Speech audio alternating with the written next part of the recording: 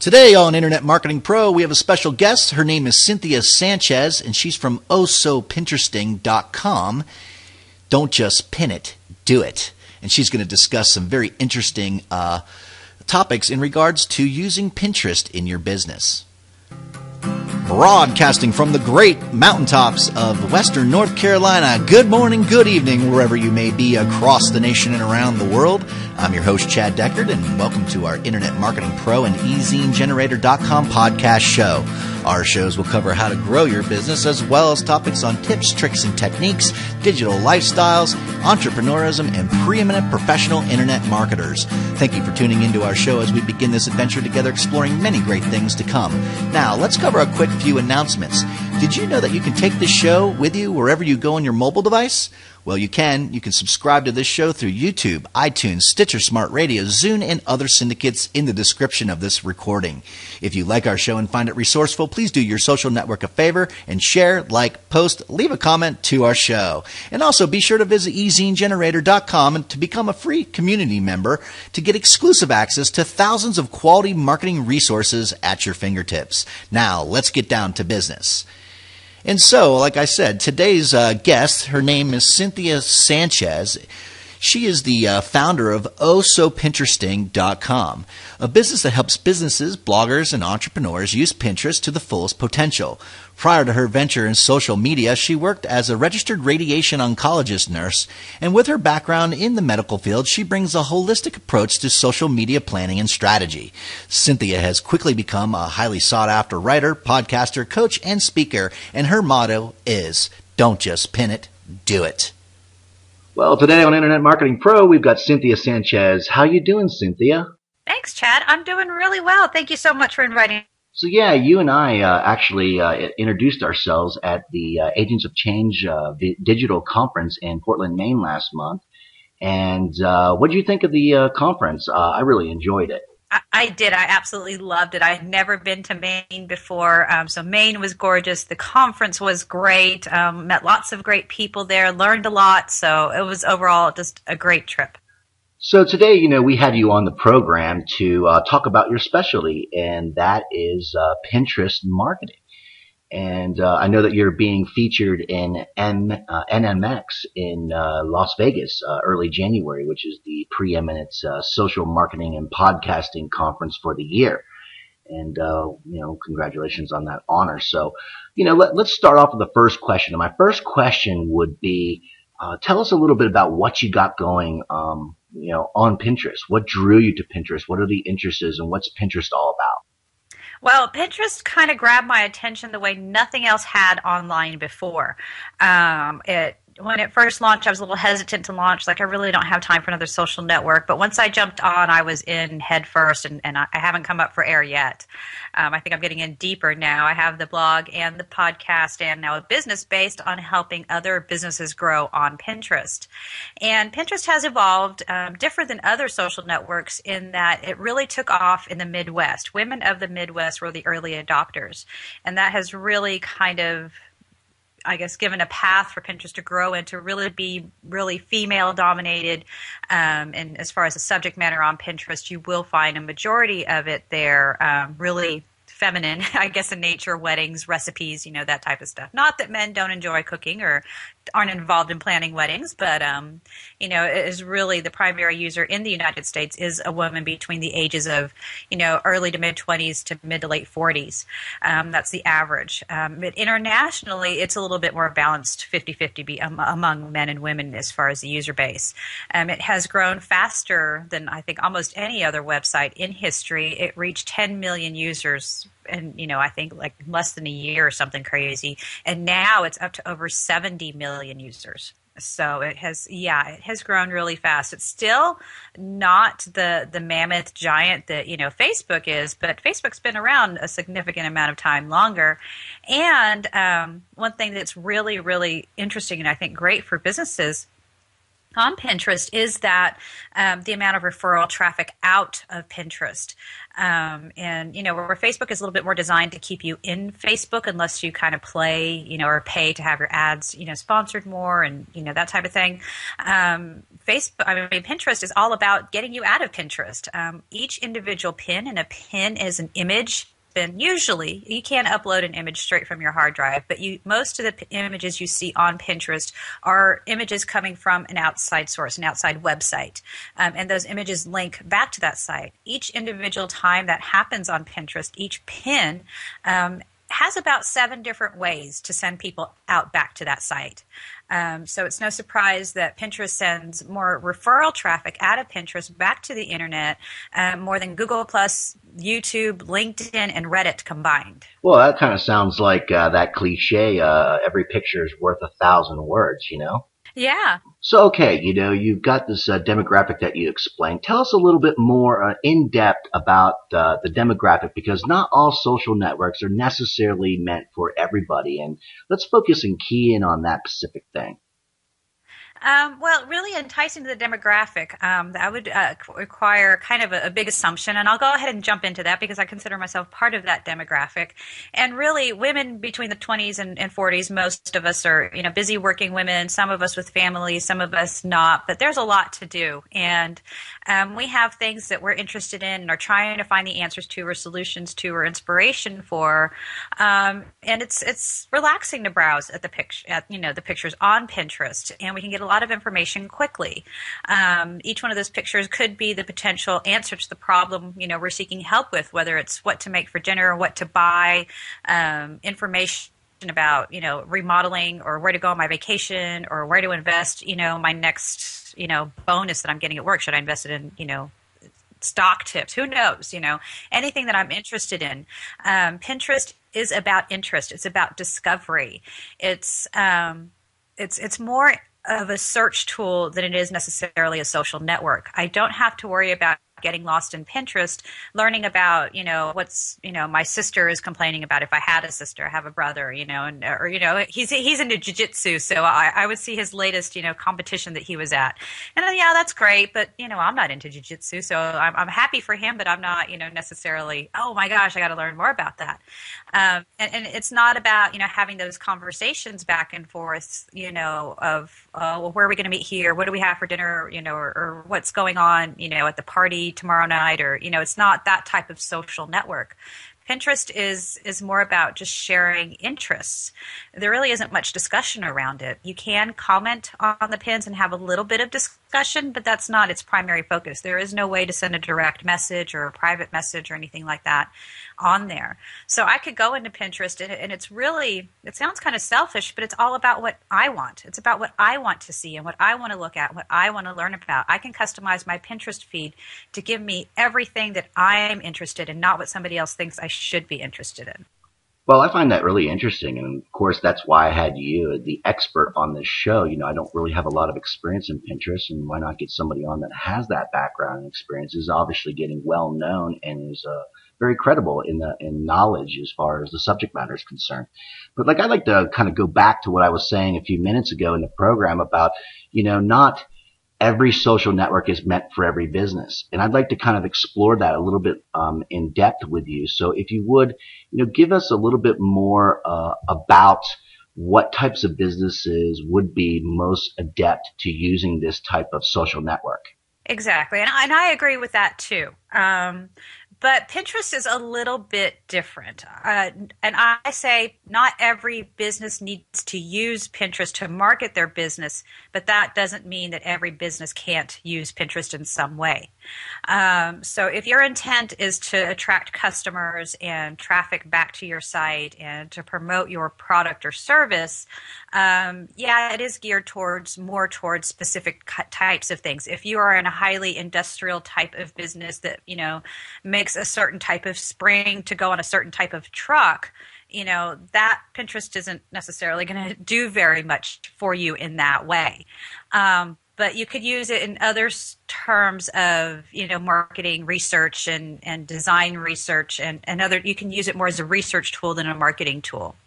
Um, and when it comes to other types of businesses let's say you are a local business with you know products and services or you're an online business really what needs to happen is you need to have an online presence that has a regular stream of content. If you're not willing to or, or have the ability to have you know a regular updated content on your site whether that be in the form of blog posts or or new products being added on a regular basis or something like that um, you probably won't do very well on pinterest either because only having three you know images of you know the latest widget that you've made and that's all you have on your site for a year sharing those three pictures time after time after time again on Pinterest probably won't do too too much for you. Um, if you're not really into um, creating content or having you know visual content uh, you really might want to you know maybe think about another social network that would work better for you until or if you you know the day comes that you do want to create you know more of a regular stream of content.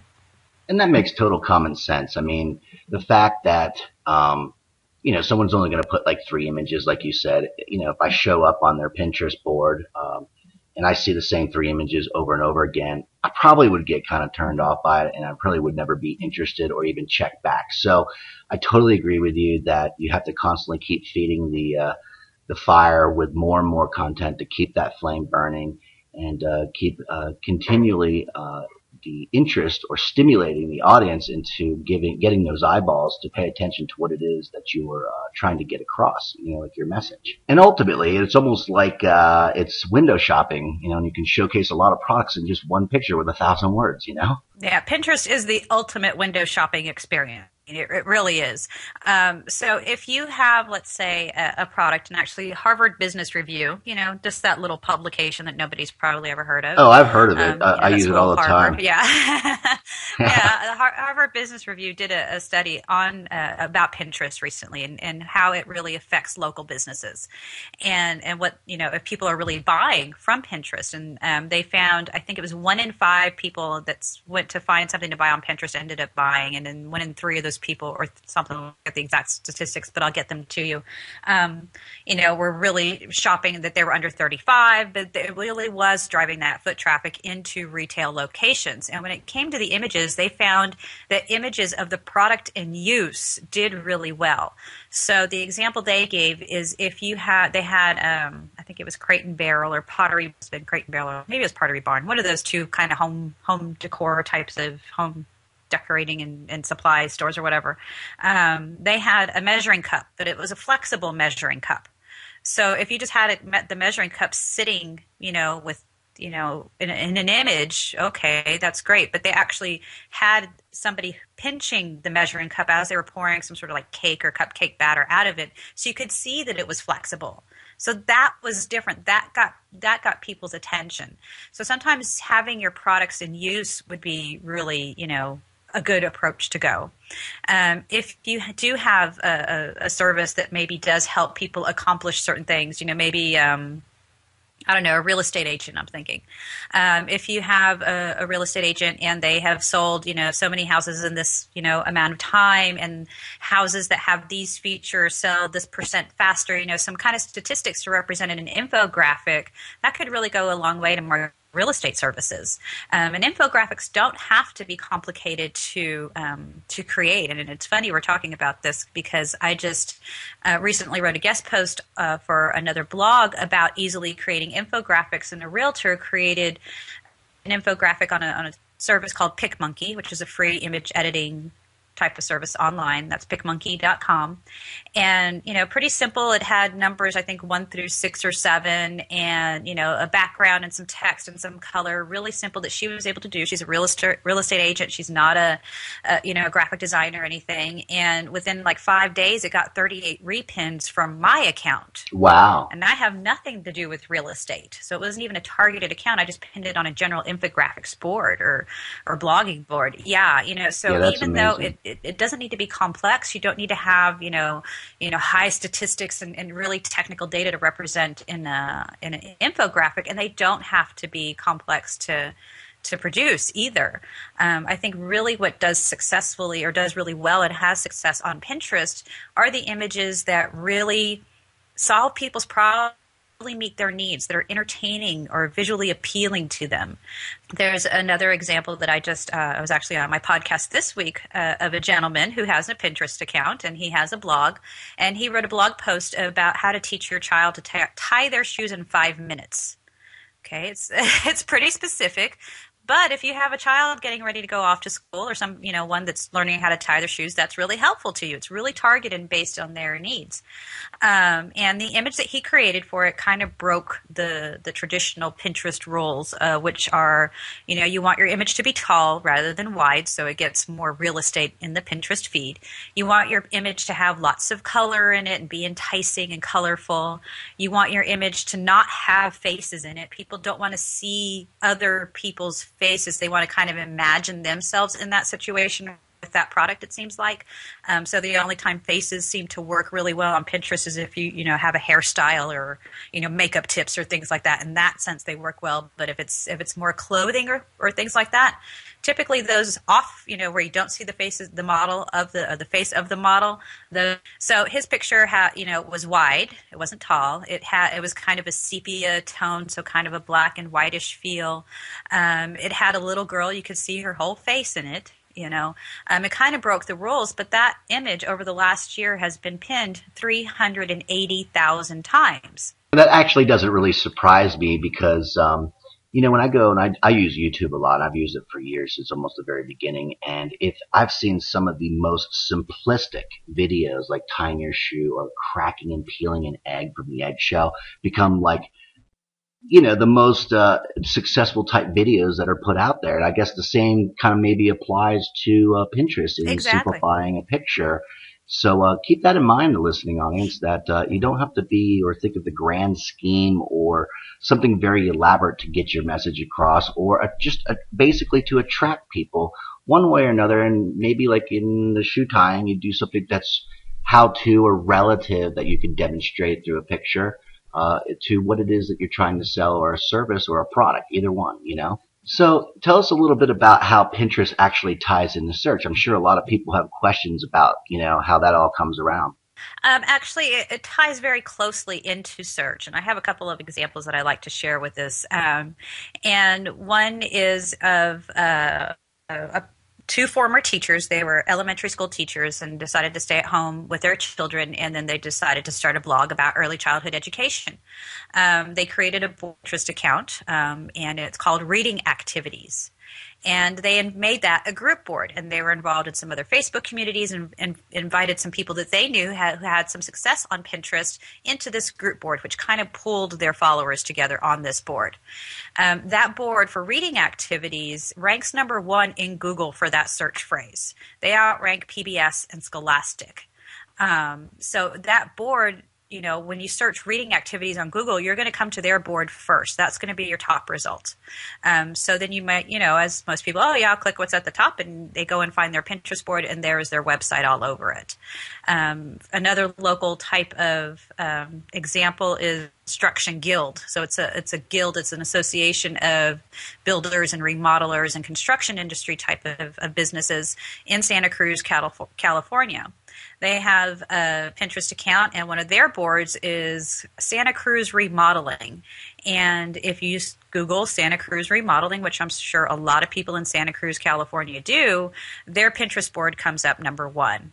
Um, on that board, they had um, at the that I found it, it, and I was you know made aware of it. It had maybe a little over 100 pins and a little over maybe like 114 followers very low numbers. Um, so you could really use your Pinterest account to help you rank your, your overall business rank on Google.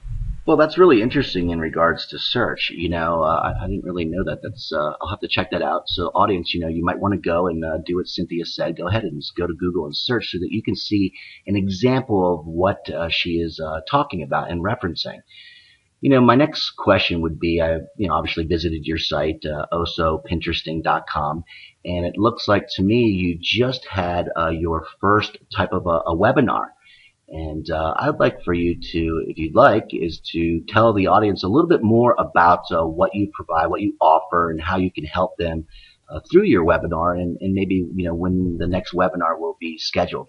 Sure, sure. Um, yeah, my workshop series just launched, um, and it's a three week series where it's live interactive workshops. It's not kind of the you know you hear about webinars and you know you can show up or go and recordings and that kind of stuff. I really wanted this to kind of take place of those in live in person classes.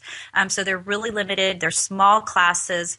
Um, this session was 10 people. I might go up to 15 but i don't think i'll ever go higher than that because i want to give everybody the opportunity during these interactive sessions to make sure that their questions get answered and you know that everybody gets their needs met. We go you know really dive into Pinterest and how to do things. It isn't the overall statistics and the numbers and the philosophy behind it. It's how can you do this?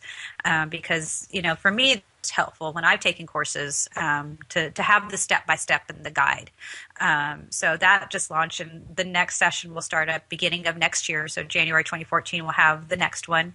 Um, I also do one-on-one consulting and also, you know, in-person workshops and you know, speaking engagements. Um, I just after I left you in um, in Maine, I came back home for a few days, then was off to New York and then to St. Louis to do you know in-person events, and then I'm off to Las Vegas in the beginning of January, New Media Expo. So that's awesome. That's really cool that you had that such synergy going on, and it must be really exciting to be able to be asked as a guest to be at NM, NMX. Uh, this will be my third time there. The last three have three times I've had it. I've been at all three of them. This is my first time speaking. Well, good for you. You must be really excited. Yeah, it will be. It's it's it's exciting. I, have met and have learned so much at that conference, so highly recommend it. Yeah, I'll have to see if I could actually make it myself. Uh, my schedule is kind of really busy. I'm not exactly sure what I'm going to be doing with my holiday, but uh, if I can definitely make it out there, I would love to be able to uh, meet up with you as well as so many other yeah, great yeah. individuals that will be out there attending that conference.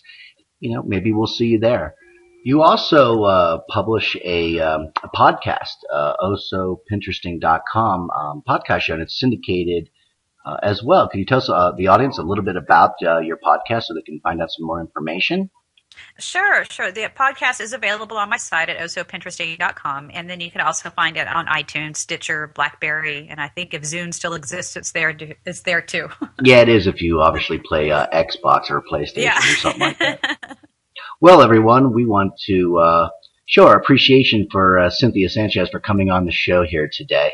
Yeah, thank you, Chad. I really appreciate that. Thank you. No problem. We are really happy to have somebody that can uh, cover uh, a new subject matter that we've never explored together here on this show. And if any of you who are listening uh, to this uh, podcast are interested, once again, I want to remind you to visit ohsopinteresting.com and check out all the wealth of information that Cynthia Sanchez has to share with everyone that is interested in uh, growing their social awareness on Pinterest. So uh, that's about it for this show here of Internet Marketing Pro this week. Next week, we have a special guest, and we're going to cover uh, reputation management. So we hope that you tune in uh, next week for that really interesting show, which is a new topic we haven't covered as well. So uh, have a great week, and we'll see you next week. Take care now. Bye bye.